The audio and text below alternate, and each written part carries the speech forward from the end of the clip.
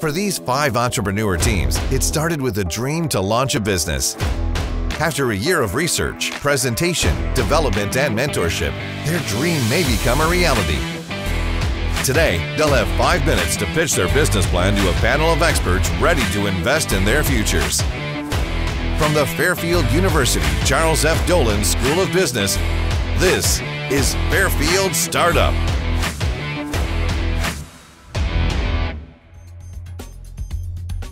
I'm very passionate about fitness. I work out every single day at 5 a.m. I'm the first one in the Recplex. Sometimes the lights aren't even on in the gym when I get there. And it's nuts. Sometimes I see other people doing wrong form. With this app, I'm trying to make it fun for new people because it's a healthy thing to do. And I'm trying to make people more efficient at working out by improving their total muscle gain and basically reducing their chance for injury. With the straps, you pop in the Xsens sensor. You want to put one on your wrist slash forearm, one on your upper arm. And basically, these will help produce your 3D model because they judge all the movements that you do when you're working out. And then I'm working with the bioengineering club to implement a muscle sensor so you know exactly what's working and what isn't. I have never worked this hard. All-nighters, half-nighters. There's not a time that I am not working. It's absolutely crazy, but I love it. Senior Winston DeMartini has had Fairfield startup aspirations since freshman year. Today, he'll present his business Hustlin' to the Startup Investor Panel. Hello, everybody. I'm Winston DeMartini, and I would like to introduce you to Hustlin', a company that is going to revolutionize the physical therapy and fitness industry.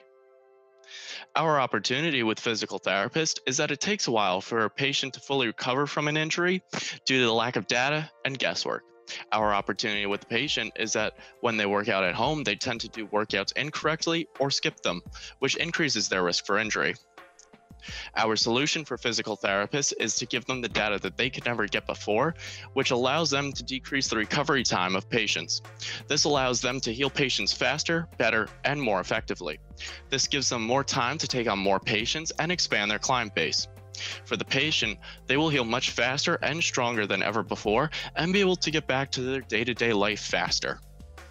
This is our product. On the left side, you can see our smart shirt with two types of embedded sensors in it. In the middle of the screen on the right side, you can see our 3D sensors, which are orange. And on the left side, you can see our muscle sensors, which are white. Sensors are also embedded into physiotherapy equipment, such as weights, to help gain more accurate data. And on the right side, you can see the UI for our app. How we work. The two sensors in the shirt gather the data while you work out, and it sends all this information to your phone. The data is then sent to our cloud where the 3D model is created and sent back to your phone in real time, so you can see your form and statistics as you work out. Our database will make it easy and convenient for us to sort and search through the data. Some applications for this data include creating and advancing our AI code, selling this data to insurance companies, marketing companies, physical therapists, and others. So here's a live demo of me actually doing bicep curls. This is all real-time data capture of my arm movements, the forces on my arm, and the biomedical data of my arm. This is all real live data. This is our UI UX for our patient side of the app. All of this was built and tested by our physical therapists we've been working with. The home screen allows easy access to your therapist's workouts, goals, and messages. The 3D model page gives the user easy access to the 3D model and important statistics that their physical therapist is looking for. Additionally, if the user is doing something wrong, it is highlighted with red or yellow on the time bar of their 3D model. Our intelligent AI system will alert the patient if it notices that you are doing something wrong and it will show you how to do it correctly. It will also send you active reminders to help you remember to do your PT. The third page is our Analyze page, where you will be able to see the data that was collected so you can get an in-depth analysis of your workout. Here you can see our UI UX for the physical therapists. On the left side of the page is our sign-in page, and once the physical therapist is chosen, the first thing you can see is a list of your clients. The first people that are lit up in orange have either done something wrong in their workout, didn't complete it, or haven't done it at all. The rest of the clients after that in gray have all done their workouts properly and on time. So now if we click on the first patient, for example, that brings them to their executive summary page.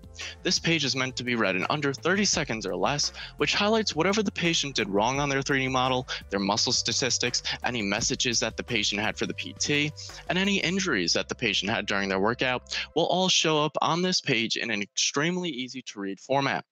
On the far right is our 2D model, where the patient patient can select where the pain hurts, how much it hurts, and describe the pain to the PT. This will greatly help the PT accurately assess what pain they are having and the cause of the pain because they will be able to go back into the data and see their muscular data and 3D image. Here's an infographic of our competitor analysis. Our main competitor is Reflection Health, who uses an expensive RGB infrared camera and TV setup to read your form of your workout and let the PT know if you're doing the exercises correctly. The differentiation factor that makes us unique is that we give therapists more data through active muscle sensors and a smart AI system, which allows patients to recover faster, stronger, all while being in a shirt that you simply just slip on, which makes it much more convenient and affordable as well as user friendly. Our market for physiotherapy equipment is 18.6 billion and in 2026 it is set to increase to 32.7 billion. This is our team. I'm a marketing and management major here at Fairfield, as well as a professional UI UX designer. My advisors consist of three science advisors and three business advisors, and my lead software developer, Spencer Letiza, is a junior here at Fairfield, and he is currently coding my app. We need funding to assemble a team build and test a prototype, gather market intelligence, and to increase traction. In addition, we applied for a research grant from CT Next, and we are applying to UConn and Yale University as well as others. Reflection was recently awarded an eight figure grant from the CDC, so there's evidence here that we're in a sweet spot. Thank you all for your time and welcome any feedback. With the presentation complete, it's time for the Startup Investor Panel discussion. Winston has a chance to convince the panelists that Hustlin has what it takes to succeed as a startup. Winston, uh, my name is Michael. I'm uh, thrilled to have you here. I'm with Joe and Marianne, and we've watched your uh, video multiple times. Just watched it again just now. Very impressed with what you've done, and we've got a couple of questions for you. We don't have a ton of time, but we want to make sure that we ask some of the uh, questions we have on a macro level and we invite you to communicate with us after the fact as well. So, Joe, do you want to kick this one off? And uh, you got a few questions asked? Yeah. Uh, a couple of points, Winston, I'd like you to address. First of all, I think this is a great idea. Um, but I would actually, uh, in addition to physical therapists, uh, uh, trainers, uh, I happen to do physical training and I go to a physical trainer every uh, about four times a week. Uh, and all of my data is on pieces of paper. And I think you pretty much will find that across uh, across the business. So the, the market might be a little bit bigger. Uh, and so your issue will be penetrating that market. Uh, the good news here, I think, is you're proposing a, a complete solution, whereas you know some of the others have uh, products but it's it's a difficult education process. So as as you take us through your your ideas, uh, why don't you explain a little bit how the marketing aspect of this is going to work and um, and how you think you can penetrate these uh, what I think are very uh, difficult situations with uh, with these people not having really good data to do their work. Yeah, so I have thought about the whole workout market, and that's actually how my name originated, Hustlin, because it doesn't really fit the PT market. But so it started out as like a gamified app for meant for people who work out, gym rats, and things like that. But then as it evolved and I pivoted a few times, I noticed this big hole in the PT industry and i think that's the way i should go into this industry is towards the pt industry so the name didn't really change yet with that but it is eventually going to change because of that And so with the app, I've been working with five physical therapists so far to develop the app and the prototype because I'm a management marketing major. I don't know that much about physical therapy, but I do have the idea. So I want to pair with the people that have the expertise in the field that will have the ability to tell me what I need to do to accomplish these goals. So I'm working with five physical therapists in the Fairfield region right now and they've helped me with the app and the prototype. And I actually came off of a call with HSS Hospital, the Hospital for Special Surgery in New York City, the other day, and they were interested in my idea and they wanted to hear more about it. All right. Thanks. I, I had a couple of questions. I'm sorry, Marion, did you want to go ahead? No, go ahead, Mike. My, my question, Winston, I love the idea as well. I had some, uh, I, I want to get another understanding of, you mentioned a muscle sensor, a bone sensor. Uh, I don't understand where they go on the shirt and where, like, these are for home workouts, I'm guessing, or they're on site workouts. I'm concerned over who has the chip, what happens if somebody throws in a washer or a dryer, and, and kind of like just the actual execution. And then as a follow up, you do recognize you're going up against, I mean, Apple Watch, um, you know, Under Armour, Nike, a couple of smaller players like not not small, but big, smaller players, Fitbit and Oura Rings. I want to understand how you plug yourself in there. Yeah. So first, I'll address the product part of it. So in terms of washing it and things like that, the product is going to be almost all waterproof there's going to be a core on your shirt that'll hold the muscle sensors in it. So there are two types of sensors in it. You have your muscle sensors and then you have your 3D sensors. Your 3D sensors will go in pockets on the shirt that are preset locations that are out of the way when you're working out. And the muscle sensors will actually be built into the shirt itself so you won't feel them. And the muscle sensors will be waterproof, but on the shirt, there's going to be a core that sends all of this information to your phone.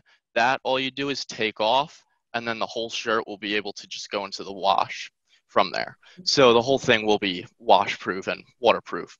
And in terms of competing against all of those companies, I would like to say, first of all, I'm not a um, a apparel company or a shirt company. I'm a tech company. So I'm really going after these hospitals that use Epic Epic systems, and I want to incorporate my system into Epic system because from there I can then incorporate the HIPAA compliant and GINA compliant documents into my app and have the therapist send them straight out into these forms. And if I can do that, then I can have access to tons and tons of offices doctor's offices because they have a huge range of networks that they're in and they're in very big hospitals. Very good. Thanks for that. Marianne, any questions? Yeah, so along those lines, um, so if you're going to be uh, looking to incorporate this into the Epic system, um, are you looking at trying to license your product to uh, someone? And, and if so, do you have some IP uh, that has been protected already? Or you know share, share with us what your thoughts are and your plans there. Yeah so eventually i will have ip that i do want to protect. It'll be software ip that i'd want to do this with. I'm looking into right now different lawyers that i can be working with to go and protect that route. So we're basically trying to get this as far along as possible right now in terms of that and protecting our intellectual property and you're going to look to license maybe? Oh yes, yes. So we want to li- we want to license our product. We don't want to sell this, manufacture this. We want to license our product, our software, our system out. Okay. We don't want to make anything in the long run. That's Thank great. you. Thank you, Winston, for uh, joining us. Uh, well done, and we look forward to seeing you in the uh, awards round. Thank you. Fairfield Startup would like to thank our sponsors for continuing to make the annual Startup Showcase possible. Thank you. Hustlin has presented, and it's on to the final round. Visit fairfield.edu slash startup to watch all of the 2020 Fairfield Startup Team episodes. Vote for your favorite and tune in next week to see the winner of the CT Next Connecticut Innovations Audience Favorite Award. Thanks for watching Fairfield Startup. This has been a presentation of Fairfield University and the Dolan School of Business.